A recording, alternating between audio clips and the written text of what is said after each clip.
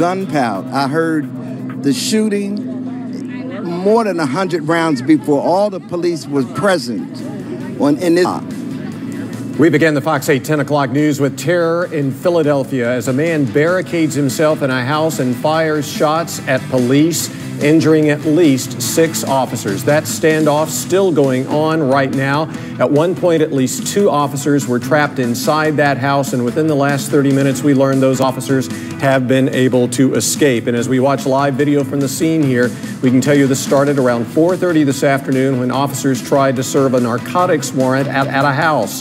Gunshots rang out after those officers walked into the home. The shooter fired multiple rounds. Officers returned fire. Again, two of them were trapped but have since got, gotten free. The good news of the six officers shot and the three others hurt. Not one of them has life threatening injuries. We continue to follow this breaking news slate tonight. Good evening. Welcome to the 10 o'clock news. I'm Neill McNeill. And I'm Katie Nordeen. Fox's Ray Bogan is in Philadelphia tonight. He has a report from the scene. Shots fired at Philadelphia police. Multiple